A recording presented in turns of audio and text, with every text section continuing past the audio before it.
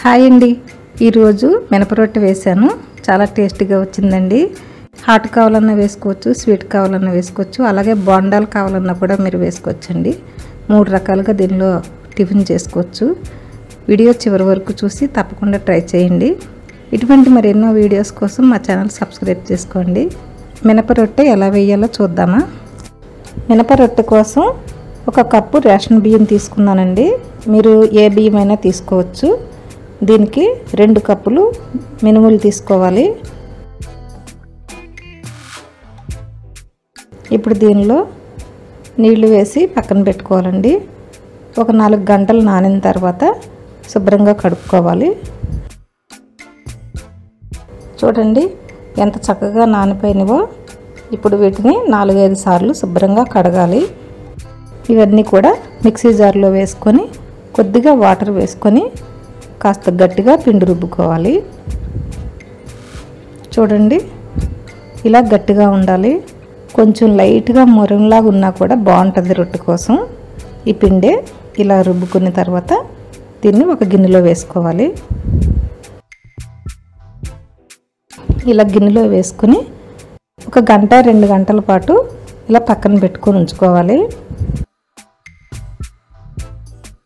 రెండు గంటల తర్వాత ఈ పిండి అంతా కూడా ఒకసారి కలిపి పెట్టుకోవాలండి. బాగా కలుపుకొని మనం ఎంతైతే వాడుకుంటామో అంత ఒక గిన్నెలోకి తీసుకోవాలి. నేను మొత్తం పిండి అంతా ఇప్పుడు వేయట్లేదండి.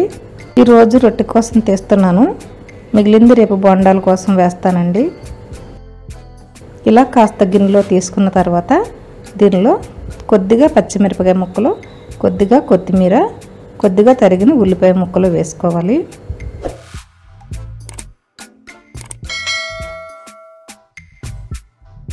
దీనిలో ఒక అర స్పూను జీలకర్ర వేసుకోవాలి. టేస్ట్కి సరిపడినంత సాల్ట్ వేసుకొని బాగా కలుపుకోవాలండి.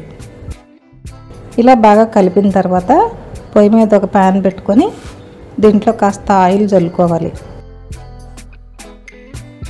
ఆయిల్ హీట్ అయిన తర్వాత మనం కలుపుకున్న పిండి వేసుకోవాలి. మీ ఇష్టం అండి మీరు ఒక్క రొట్టె కావాలన్నా వేసుకోవచ్చు రెండు మూడు రొట్టెలు కావాలన్నా వేసుకోవచ్చు. దీనిలో పచ్చిమిరపకాయ ముక్కలు ఉల్లిపాయ ముక్కలు మానేసి తురిమిన బెల్లం కూడా వేసుకొని స్వీట్గా రొట్టె వేసుకోవచ్చు. ఇలా వేసుకున్న తర్వాత కొంచెం ఆయిల్ మళ్ళీ జల్లుకోవాలి. మూత పెట్టుకుని లో హీట్లో ఒక రెండు నిమిషాల పాటు కాలనివ్వాలి. చూడండి ఇలా రొట్టె తీయడానికి వస్తే చాలండి ఉడికిపోయినట్టే మనకి. ఇప్పుడు మళ్ళీ పైది కిందకి తిరగవేసుకోవాలి ఇలా మూత పెట్టి ఒక నిమిషం పాటు ఉడికిన తర్వాత తీసివేసుకోవాలి చూడండి ఇలా ఎర్రగా కాలితే రొట్టె బాగుంటుంది.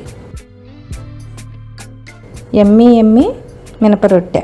బయట క్రిస్పీగాను లోపల సాఫ్ట్గాను చాలా బాగా వచ్చిందండి. చూడండి ఇది మనం ఏ చట్నీతో తిన్నా కూడా టేస్ట్ సూపర్గా ఉంటుంది. ట్రై చేసి చూడండి. చూశారు కదా? ఈ వీడియో మీకు నచ్చితే కామెంట్ సెక్షన్లో తెలియచేయండి.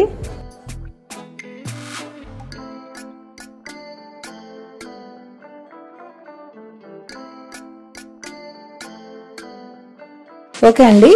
ఈ వీడియో మీకు నచ్చినట్లయితే లైక్ చేయండి. మీ ఫ్రెండ్స్కి రిలేటివ్స్కి షేర్ చేయండి. ఇలా మరెన్నో వీడియోలు చూడటానికి మా ఛానల్ని సబ్స్క్రైబ్ చేయండి. Thank you.